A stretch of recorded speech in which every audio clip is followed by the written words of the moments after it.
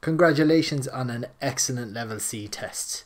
You've now graduated to level D of the Kumon program.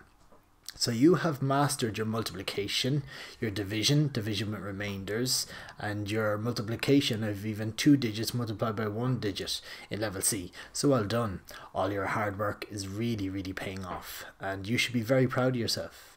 So What's next? In level D, you're going to learn how to multiply two digits by two digits and even three digits by two digits, okay? You're going to learn long division, so two digits into three and four digits, so your estimation skills are going to be even stronger, and we're going to use the skills that you've developed in level B and level C to be able to do long division, okay? You're also going to learn how to simplify and reduce fractions. So again, your times tables is going to come in very handy here. Um, for example, 14 over 42, you're going to be able to reduce to one third.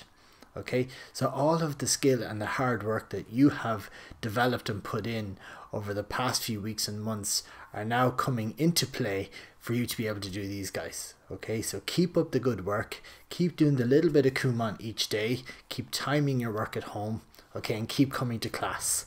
We're very proud of you and we can't wait to see you in class next week. Well done.